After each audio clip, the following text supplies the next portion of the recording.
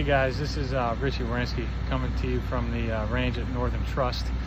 Um, just wanted to kind of go over a couple of your core values that you guys have. The, what's the most important to me? Um, I think the most important to me would be perseverance. That's uh, kind of gotten me to where I am today. You know, being persevering just through everything. There's, there's a lot of ups and downs in the game of golf. Um, for me, it's just been, you know, I've been playing my whole life and I've had a, a lot of, you know, bad things happen and a lot of good things, but, you know, you got to persevere through that. And uh, the other one I think is, you know, integrity. That's, that's a really important one to me. Um, just on and off the golf course, just it's, it's very important. You know, it'd be something something good to learn at a young age.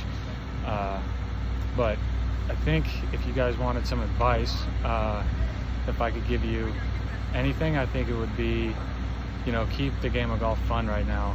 Get creative. Don't be afraid to, you know, get on the range and hit a bunch of crazy shots. Um, you know, that's super important. I think that's something that a lot of young kids starting off in the game are trying to get the, you know, the perfect golf swing, and it's not, you know, that'll come. You can, you can do that later on, but uh, you know, the swing doesn't need to be perfect. You need to learn how to get the golf ball in the hole learn, you know, learn how to get out of trouble, hit some crazy shots, and it's going to help you overall.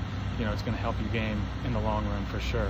Um, but I think uh, that's pretty much all I got for you guys. Um, have a good one and good luck with everything. Thanks.